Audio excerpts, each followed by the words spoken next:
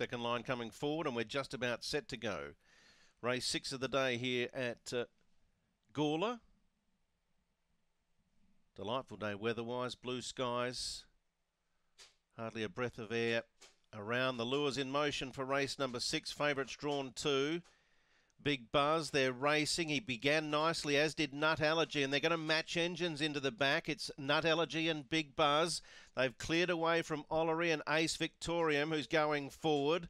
And then follow then towards the back end of the field. We have Velocity Flame and Intensify, but Big Buzz broke clear. Three in front from Nut Allergy.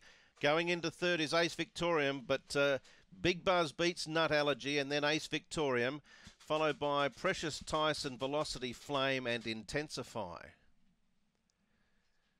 So Big Buzz over Nut Allergy and Ace Victorium. 2 1 4 with five.